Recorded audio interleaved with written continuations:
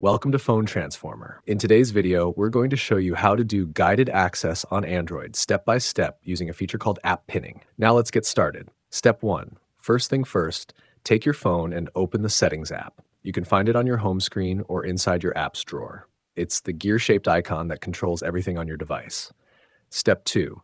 Within the Settings menu, go to the search bar at the top and type the word Pin app. You'll see a result pop up instantly. This option is currently disabled by default, so just tap on it to switch it on. Step 3. After turning it on, go back to the home screen and open the app you want to keep locked or pinned. Then swipe up from the bottom of your screen to open the Recent Apps view. Step 4. Now tap on the app icon that appears at the top of the app preview. A pop-up menu will appear with options like App Info and Pin This App. Tap on Pin This App and confirm your action. The app is now locked in place. Step 5. If you decide to unpin the app, it's super easy. Just swipe up from the bottom of the screen again and hold for a second. This will instantly unpin the app and return you to your regular phone access. Thanks for watching and please subscribe to the channel.